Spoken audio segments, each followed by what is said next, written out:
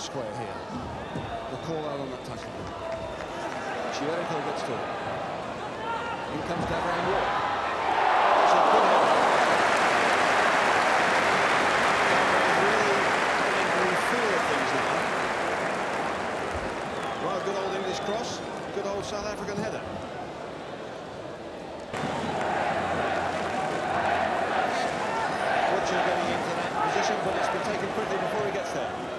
challenges.